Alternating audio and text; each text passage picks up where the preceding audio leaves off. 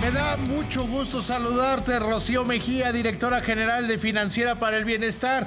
¿Cómo estás, Rocío? Muy buenas noches. Muy bien, gracias. Buenas noches. Oye, Rocío, eh, primero felicidades que te quedas en la Financiera del Bienestar, pero ¿por qué no le platicas al auditorio qué has estado haciendo en la Financiera del Bienestar y luego pasamos a la parte en la ¿qué, piensas hacer en, tu segundo mandato? Ah, muchísimas gracias. Mira, como sabes, venimos de la herencia de Telecom, telecomunicaciones, y tenemos una infraestructura en todo el país de 1.700 sucursales. Entonces, lo que hicimos realmente fue reconvertir esas sucursales en oferentes de servicios financieros básicos. No somos bancos, somos transmisor de dinero y en estas sucursales tenemos eh, transferencias internacionales, remesas, tenemos corresponsalía bancaria, un convenio con 10 bancos, tenemos pago de muchísimos servicios de luz, de agua, de teléfono, de televisoras por cable, compra de tiempo aire. Entonces, estas 1.700 sucursales pues son pequeñas oficinas que están, imagínate, en aquellos poblados, localidades, municipios alejados, donde no hay oferta de servicios. Es que es donde tienen que estar, o sea, tienen que darle acceso al sistema financiero donde no están los bancos, donde no están los otros otorgantes de crédito o que hacen transferencias, digamos, ¿no? Exactamente. y donde no llegan las fintech, tampoco donde no llega la tecnología porque no el internet no es suficientemente bueno, digamos. Eh, totalmente de acuerdo, por eso es tan importante nuestro papel. ¿Y qué nos encargó el presidente estos seis años ya?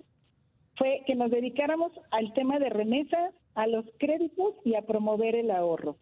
En el tema de los créditos, como bien sabes, empezamos con las tandas para el bienestar allá en el 2019 y a la fecha colocamos poco más de 2 millones 800 mil créditos.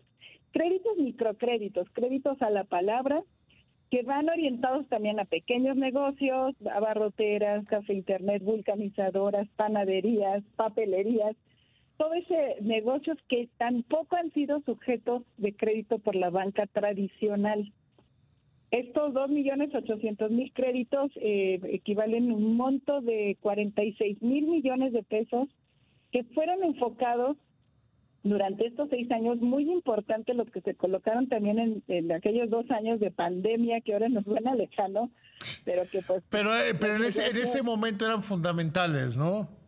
Muy importantes. Imagínate, era casi o mantengo mi negocio con esto o, acabo cerrando. Este fue lo que hemos hecho prácticamente en créditos. Eh, ya cerramos este esta, esta administración. Desde hace un mes ya no colocamos créditos.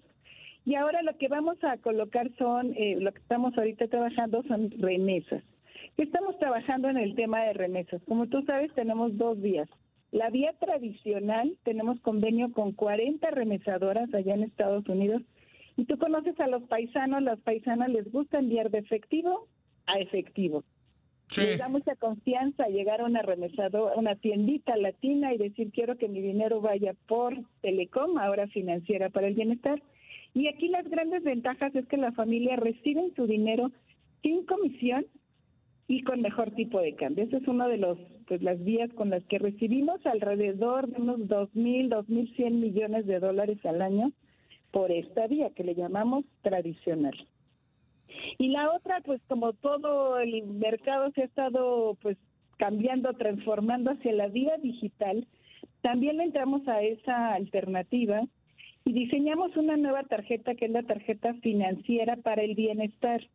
Esta tarjeta se distribuye en Estados Unidos, a nuestros paisanos también, para que tengan la oportunidad de enviar por ahí de tarjeta Finavien Estados Unidos a tarjeta Finavien México y sabes que solo les cobramos de comisión 3.99 dólares. No, hombre, eso conviene más que los bancos.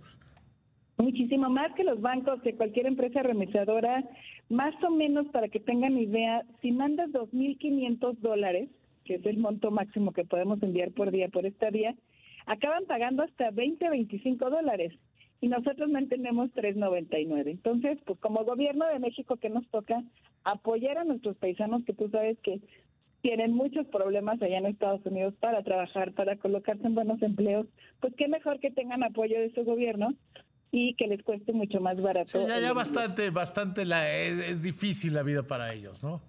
Bastante, ya que logran por fin colocarse en un empleo, pues qué mejor que puedan enviarle aquí sus familiares, como tú sabes, muchas familias en México, alrededor de 11 millones de familias, viven de las de las remesas. Es, un, es un ingreso complementario muy importante.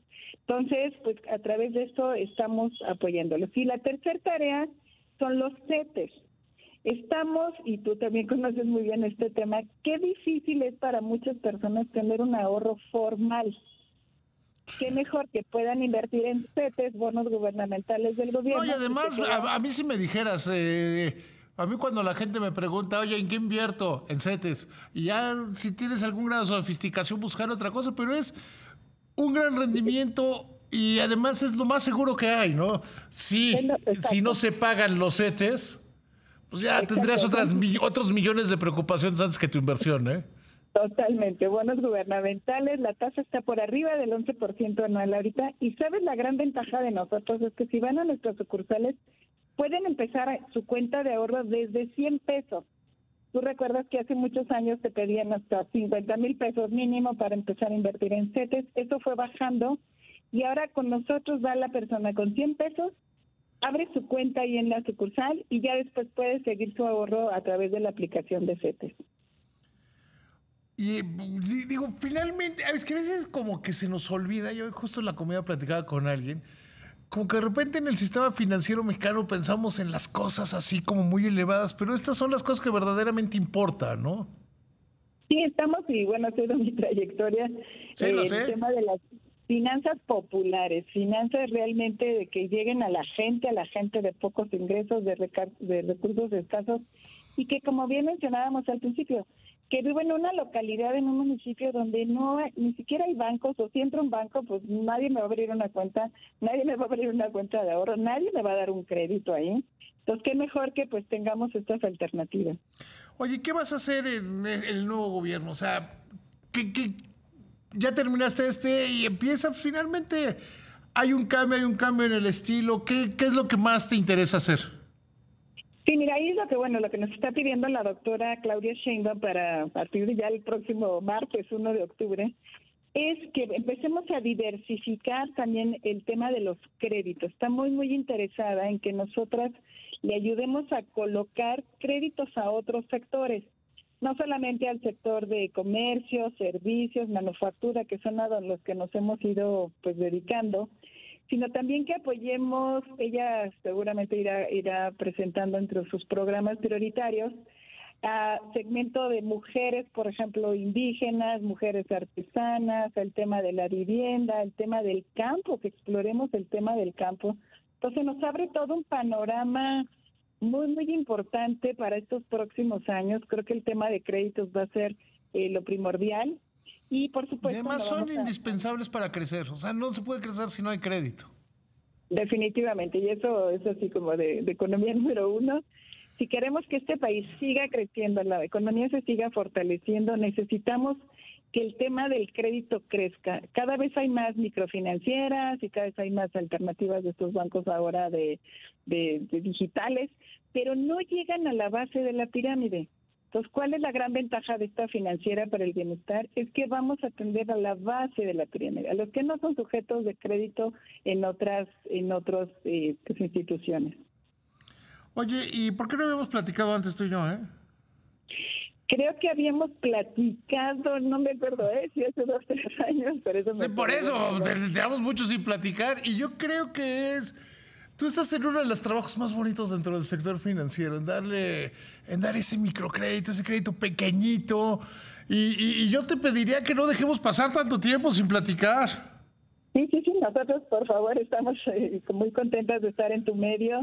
Eh, tenemos aquí las puertas abiertas y nos va a dar muchísimo gusto irte eh, platicando los avances, porque realmente hacían mucha falta en este país. Tú sabes que se ha hablado de la política de inclusión financiera, pero yo le llamo la política de exclusión financiera, la población sigue todavía con unos índices de, de, bancarización muy bajos.